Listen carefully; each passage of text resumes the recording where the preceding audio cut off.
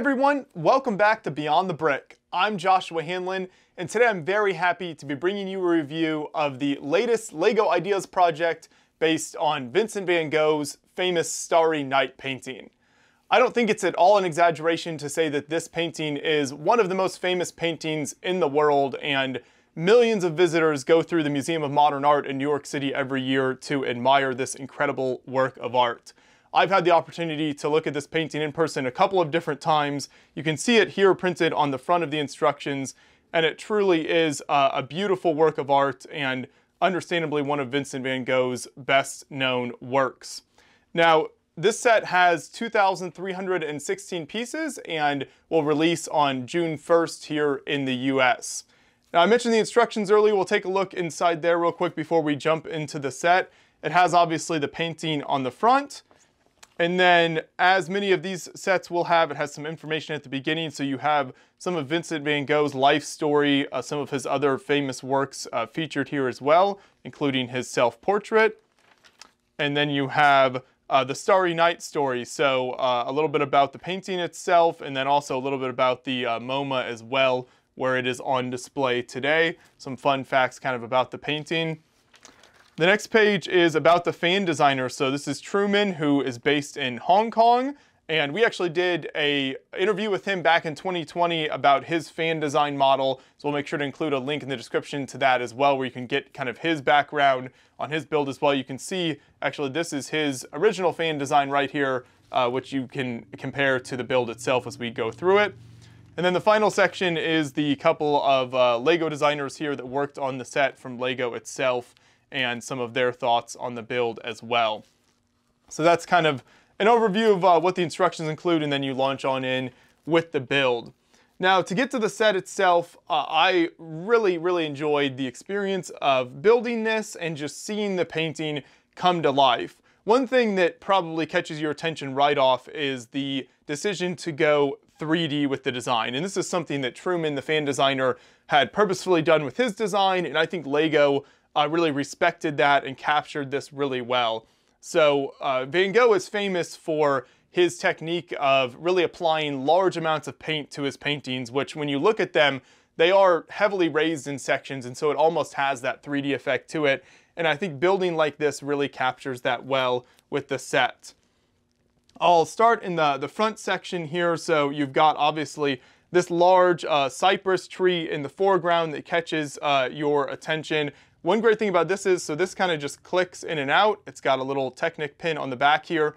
This part uh, you actually build last in the build, so everything else uh, comes first and then you attach this section. I really liked this though because it has some great snot or studs not on top techniques here. So you've got kind of a core section, which I'll, I'll take off a couple of these pieces. So there's a core section here that has uh, a bunch of you know studs sticking out on the sides, and then you attach all of these branch and leaf type pieces to them just like that. And so the back kind of gives a nice perspective of that with this core in the middle and then all the branches sticking out. And I think that captures obviously what you can see here, which is kind of the, the very twisty turny lines of the, the cypress tree. I'll leave that off for now actually so we can talk a little bit more about uh, the painting itself. Can move on to the village and you see the, the large church uh, with its steeple, which is kind of the, dominant building in the village, and then using a lot of these corner uh, tile and plate pieces to create the, the roof sections of some of the houses in the village as well. Once you get over here, it gets very parts intensive. So this whole perspective would have been the view that uh, Van Gogh had from the uh, mental health facility asylum that he was in in France, and he would have looked out his window and seen a view similar to this uh, at, at nighttime from his room. Now, he couldn't paint at night, so this would have been uh, largely imaginative in many ways and would have been him kind of recreating how he saw the night sky and the village and the trees and the hills in his mind. So you do see the, the hills, though, kind of rolling in from the right side. You see a lot of the uh, little cypress trees in the background there as well. I mentioned it's very parts intensive because it's tons of plates and then little quarter round tiles and just parts after parts kind of packed in there. But it creates a, a wonderful effect of so much depth and that 3D effect that I talked about earlier. we move up here uh, to kind of the mid section and you start to get into some of what would have represented kind of the mist rolling through uh, the hills uh, around where Vincent van Gogh was housed. And you get some of these uh, brighter color pieces, just like in the painting itself where he used some of the uh, brighter colors to represent that.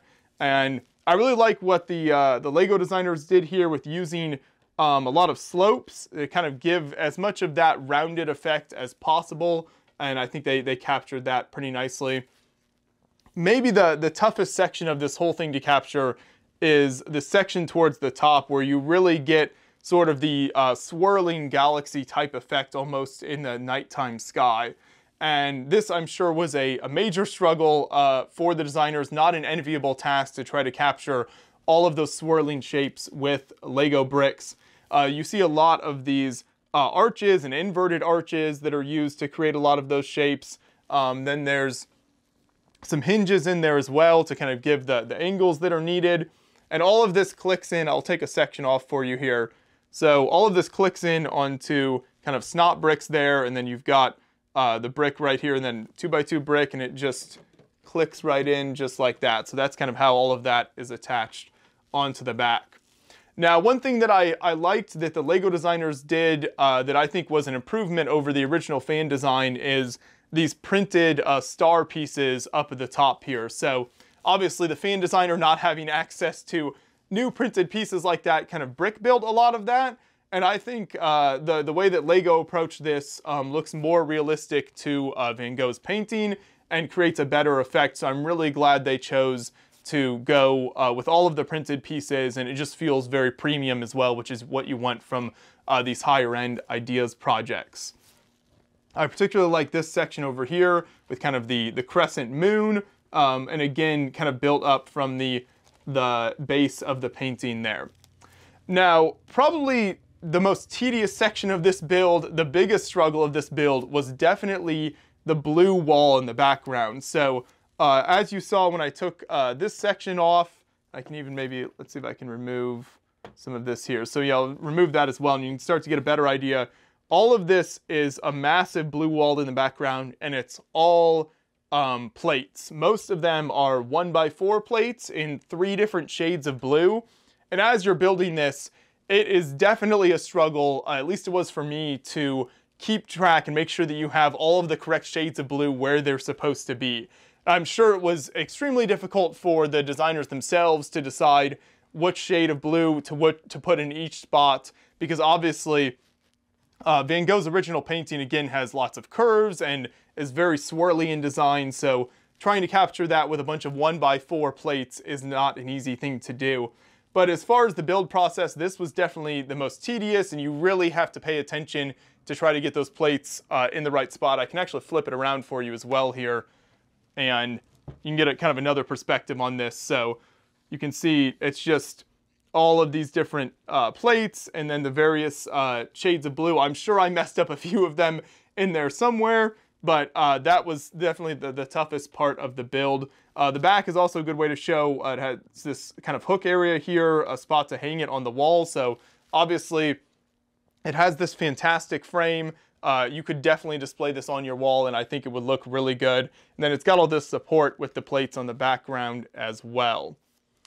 We'll flip it back around now and check out the front. Uh, I mentioned the frame, so it's got these great rounded pieces. Uh, and I can take one of these off here. So it's just a whole bunch of these uh, one by four rounded pieces on the top that give a really nice frame effect to it and add so much to the overall build um, that you wouldn't get if it didn't have that frame. Another thing uh, that you definitely have to mention is the minifigure of Van Gogh himself. Now you can see him at the easel. They've included a uh, printed tile there with uh, the painting on it, a miniature version of the painting. And this can kind of swivel in and out, so you can kind of swivel it to the side or out in front, depending on how you have this displayed and how much space you have. But I'll take this off real quick then and show you try to get a better shot of the minifigure itself. And so he's got the he's got the paintbrush there um, with his paint palette, and they've included the colors obviously that are mostly representing on the on represented on the painting. Um, the little printed tile I think is really great as well. Like that piece alone is fantastic, uh, even if that was uh, the only version of the painting we got. Uh, I think the, the minifigure is very representative of the, the portraits of Van Gogh that you see with the orange hair, uh, the lighter blue shirt, and the uh, kind of darker orange pants there. Um, even some nice uh, side printing on the sleeves with the white lines. You flip them around, some back printing as well. Kind of his uh, vest that he has on there. So I really like that added effect. That was something that um, Truman, the, the fan designer, had done a great job of including that, and I'm really glad that LEGO kind of stuck with that and decided to include um, that element as well. So this set uh, is also very sturdy. Um, it's got this little, it's got this little piece on the bottom here, if you can see that. So that kind of helps stand it up. Uh, as long as it's not on a surface that's going to be, you know, pushed around or shook too much, should be perfectly fine. And then, like I said, you can also hang it from the wall as well. I would definitely recommend um, picking up this set and checking it out if you're at all a fan of Van Gogh or just kind of a, an art uh, fan, art history fan in general. I think you, you won't be disappointed with this set as well. I think it uh, represents the original fan design really well. Uh, they took uh, all of his great ideas and were able to improve them in areas and just make, make the set even better. So this is really a fantastic design. Uh, if you're interested in learning more about uh, Van Gogh's work or Starry Night in particular, uh, definitely check out the Van Gogh Museum, which is in Amsterdam in the Netherlands. Uh, it's a fantastic museum. Had the opportunity to visit there a few years ago. Um, while this painting is not on display there, there are many other uh, works of his on display, including um, my all-time favorite Van Gogh painting, his Almond Blossoms painting. So definitely follow them online. If you ever have the opportunity, check out that museum in person. It's fantastic, and they post a lot of really good information online about Van Gogh. Uh, we'll also put a link in the description to a fantastic uh, art history YouTube video uh, that an art history channel made here on YouTube about uh, the Starry Night painting, where you can learn much more about kind of the background of Van Gogh and this painting with lots of little details and information in there if you want to learn more about the inspiration for this incredible Lego set. But thanks so much for watching everyone, and I hope you enjoy your build of Van Gogh's Starry Night.